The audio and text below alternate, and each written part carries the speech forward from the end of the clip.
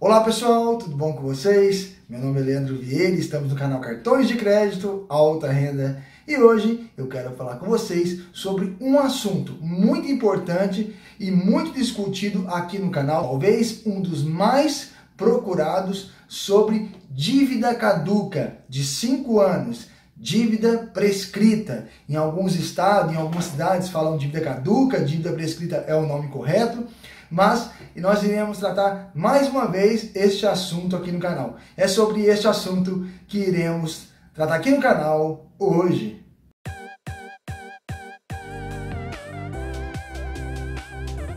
Bem, gente, é, devido a muitos pedidos, vocês podem ver os vídeos sobre este assunto aí, de dívida caduca, prescrita. É, o canal tem muita procura, então eu voltei com esse assunto para poder ajudá-los mais uma vez. Vamos lá então. É, acontece que uma pessoa é, ficou devendo em certa instituição, em determinada instituição financeira, e não conseguiu pagar, tá? Então, fiz um crédito, fui induzido pelo gerente do banco, o gerente falou que o juros era baixo, mas depois que eu assinei, eu usei o dinheiro, eu não consegui pagar. N motivos aconteceram nesse decorrer do tempo quando eu solicitei um crédito ou pedi um cartão de crédito, parcelei, comprei, não consegui pagar, vários motivos, tá? Pode ser desde empréstimo, cheque especial, cartão de crédito, um dos motivos de eu não ter conseguido pagar minha dívida, tá? Fiquei desempregado e por aí vai, né? E o banco fez um acordo comigo, né? Ligou, eu fiz um acordo e eu não consegui também pagar esse acordo.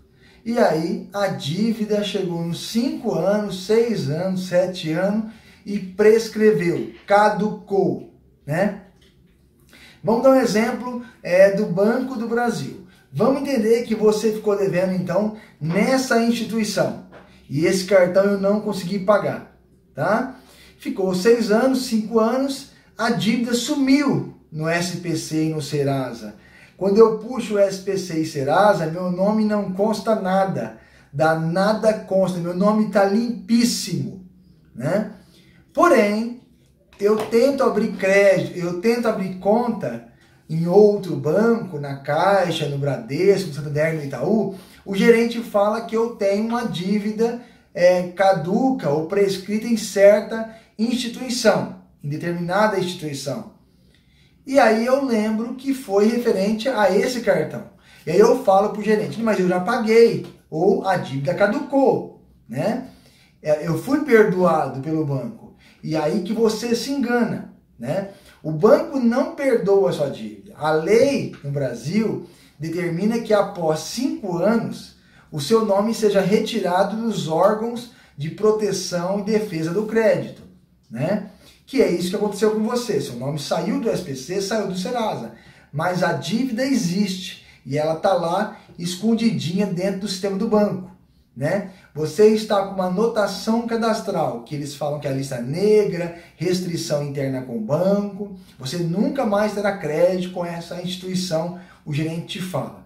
E ainda mais, ainda mais, eles venderam a dívida que tinha com o banco para uma terceirizada uma Recover da vida, uma Astral, outros nomes que aparecem por aí de companhias de cobrança, né?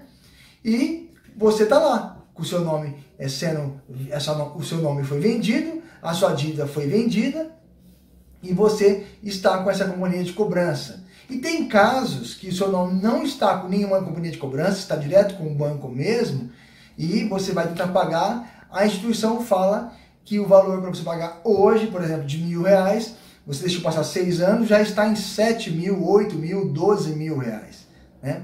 E aí você faz uma proposta, né? Você fala, olha, então eu queria pagar essa dívida. Quanto que você me faz? Aí o gerente vai falar com desconto, vai calcular para você, tá, tá, tá, tá, tá, vai lá ver, vai estar tá lá com desconto 500 reais. Aí você se ilude em querer pagar essa dívida por 500 reais que o gerente ou uma companhia de cobrança falou para você pagar que seu nome sai do SPC, mas já saiu, né? Eles falam, vai sair daqui, dentro de 48 horas, o seu nome vai sair do SPC, vai sair do Boa Vista, mas já saiu, né? O que eles querem dizer para você é que você estará com a dívida quitada. Isso sim, sua dívida está quitada. porém você continua com uma restrição interna com o banco, se você fizer isso, né? Então, qual é a solução, Leandro? Se eu não pagar, eu estou com restrição interna. E se eu pagar com, com, o valor principal pela metade, eu fico com a restrição interna, como que eu faço para sair dessa?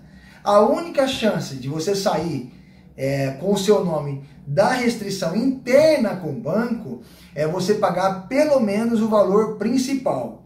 Então, se você devia mil e você pagar esses mil, e o gerente garantir que você não terá restrição interna com a instituição, então você teria que pagar os mil. Se esses mil ele quiser parcelar para você em quatro, cinco, seis vezes, não tem problema. O valor principal. O que não pode é pagar o valor principal pela metade. E aí você querer crédito com a instituição novamente. Com essa daí você esquece. Então a única chance, a única forma é dessa que eu estou falando para vocês. Pagar o valor principal.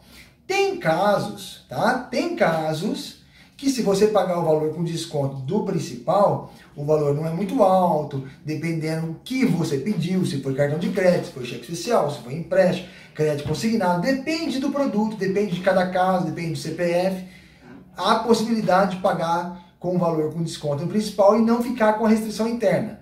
É muito pequena a quantidade de pessoas que conseguem isso, mas existe a possibilidade, tá? Como existe a possibilidade de pessoas estar com o nome no SPC ter crédito.